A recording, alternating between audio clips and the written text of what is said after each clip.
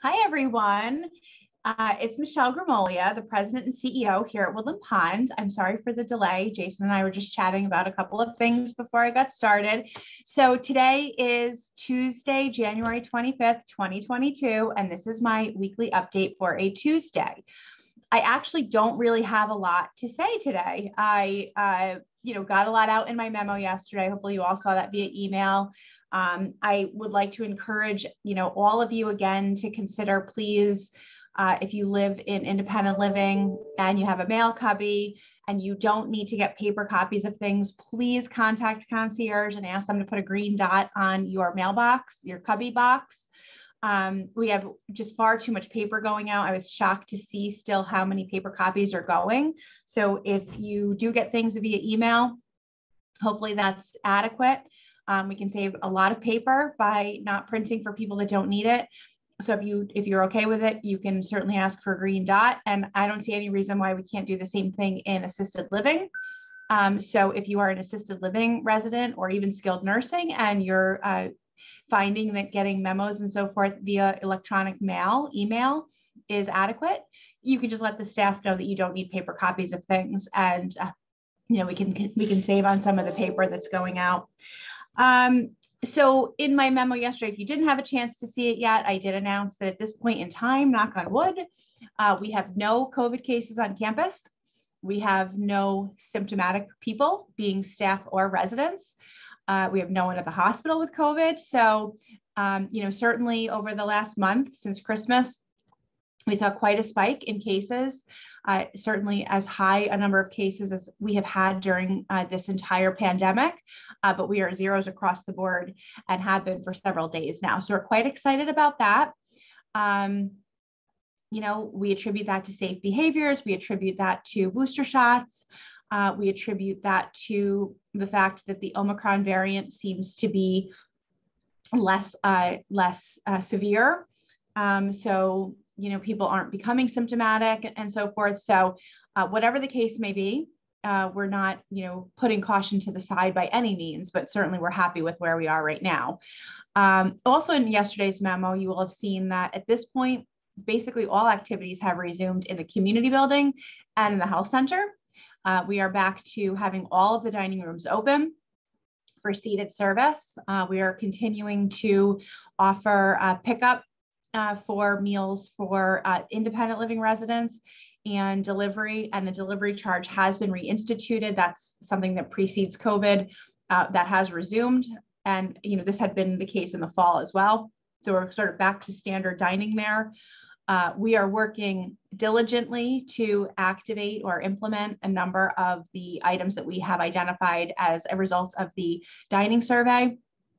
So, um, you know, a lot of the issues that were identified in the survey actually impact the whole community. So I, I know there's been some questions about, you know, doing an, an assisted living specific survey or, uh, you know, a, a garden view specific survey or skilled nursing specific survey. But one of the things that I, I don't do a great job explaining, so I'll take a moment to do so, is that all of the food uh, throughout the community and all of the culinary programming starts in the same place. So when we identify systemic um, changes that need to be made, they all will stem from the culinary team in the main kitchen. It's one general manager, it's one executive chef, um, it's a couple of the same chef managers and so forth. So uh, we don't really have, you know, siloed culinary programming. Everything kind of starts in the same place. And if our if our basic framework uh, is not meeting the needs of the residents, then we know we have to start there. And it's after we sort of get some of these very, very basic changes made that we will be able to assess what we need to tweak in individual settings. So we will do, you know, eventually individual uh, setting specific surveys. So specific to independent living dining room, specific to the pub, specific to the assisted living dining room, and so forth. Um, but the, this this survey was really to kind of get down to brass tacks and say, you know, are the menu offerings, you know, what they need to be? Because all of that starts in the kitchen. So what we're offering for the whole community on a particular day starts with the meals that we're putting together um, sort of for the most independent and then we have to modify the, the diets as we go um, we have actually started implementing a new system for um, modified consistency diets for the health center residents that need them. So when you have a pureed carrot, it should really start to look like a carrot now, and that's exciting. Um, we've worked with Sodexo to find a whole bunch of new products and and um, uh, pieces of equipment that can help us do that. So we're very excited about that. Uh, as as you know, we're we're hiring up, we're doing you know menu changes and, and a wide variety of things. So lots of exciting stuff happening with the culinary program. Uh, lots of exciting stuff happening with the calendar. So when you see your February calendars, you're going to start to see, you know, lots of activities on these calendars. And I did have a memo last week that I just wanted to touch on. And regardless of anything that you may have been told or anything that you think that you know to be the case, if you live on this campus, you are welcome to participate in any activity on this campus as long as you can safely do so without assistance. It does not matter where you sleep. It does not matter where you call home on campus. But if you see an activity or an event or a card game or a new instrument that's being taught and you happen to sleep in skilled nursing or you happen to sleep in assisted living and you know or you are confident that you can participate in that activity in the community building by doing so independently you are welcome to do so and i hope that you are. And vice versa. Um, there's a lot of great programming that goes on in the great room if you live in independent living and you want to participate in anything that's going on in the great room for example you are welcome to do so as well so where you sleep should not be dictating, you know, what you participate in here on campus. I, I really want to keep reiterating that. You're going to hear me say that throughout 2022. This is one campus. And as long as we aren't on any kind of restrictions in any part of campus, everyone should be able to go and participate in everything that you'd like to. And we're really going to try to encourage that. That's what one community means. That's what this community is about. So you will be hearing that from me, you know, repeatedly during 2022. Um, let's see. Jason did ask me to mention that tomorrow um, we have to have everyone back from shopping by 1.30.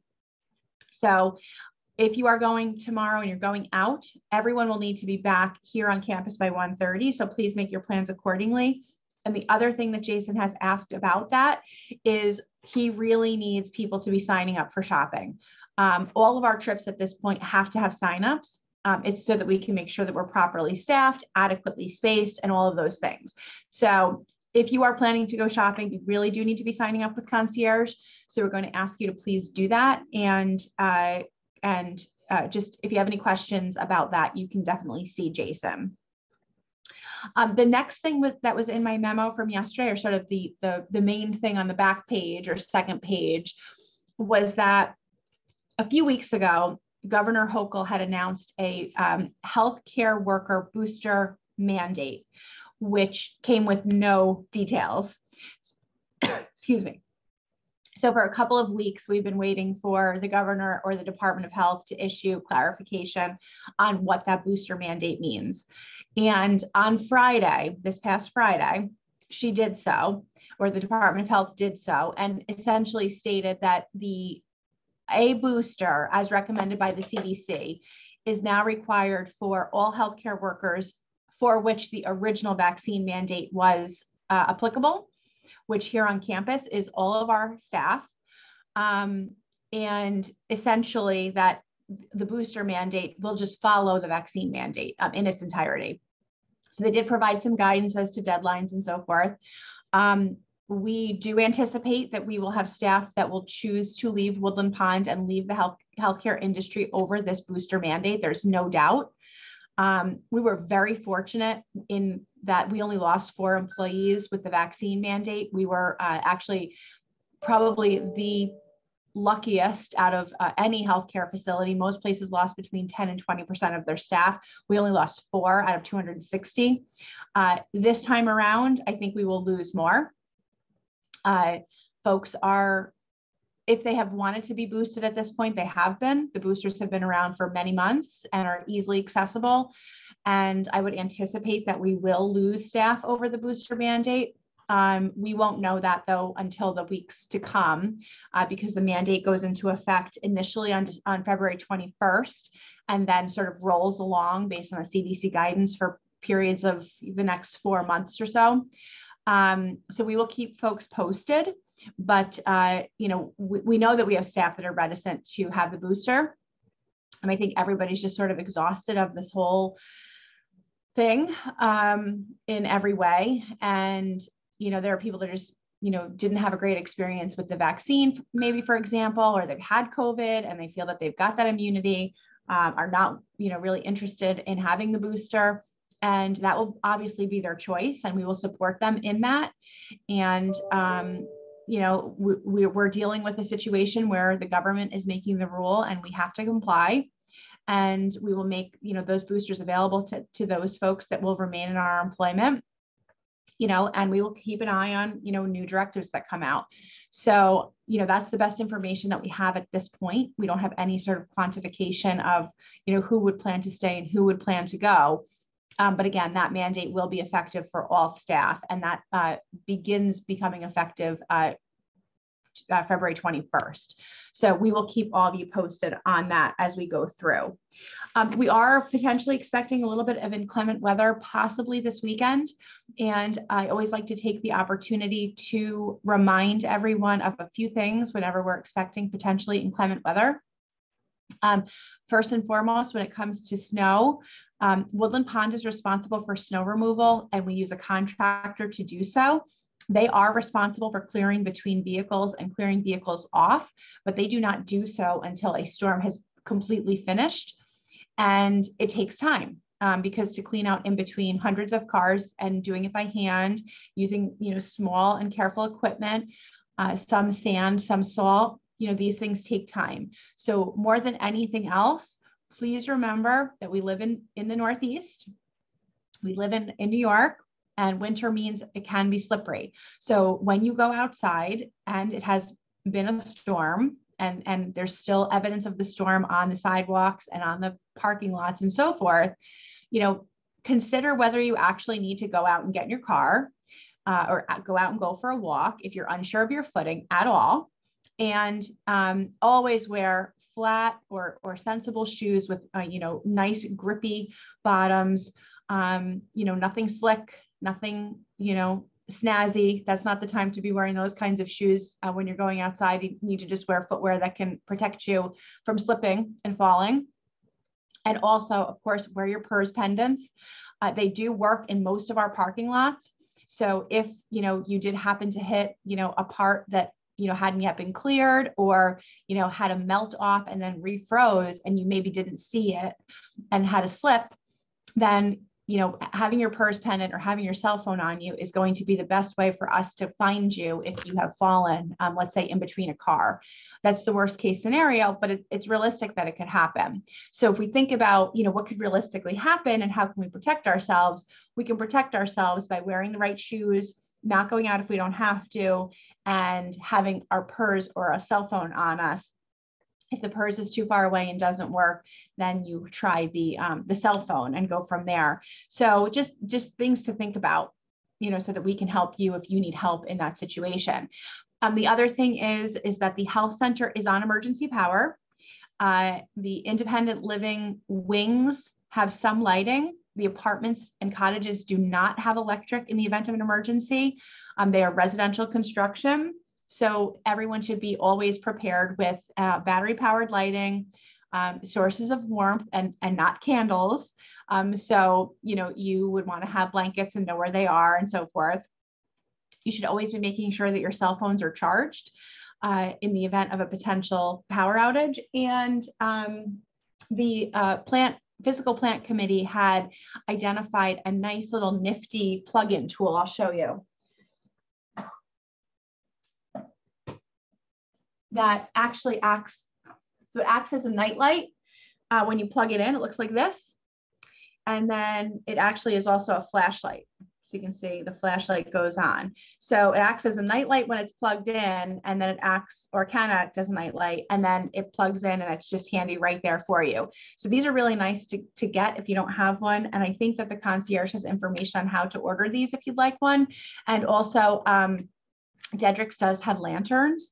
So, you know, the LED lanterns, and they're very inexpensive. So if you haven't been in Dedricks in a while and, and don't remember kind of what they carry in there, they've got really handy stuff. They've got great things in there and, uh, you know, things that can save your life if you need, you know, lighting.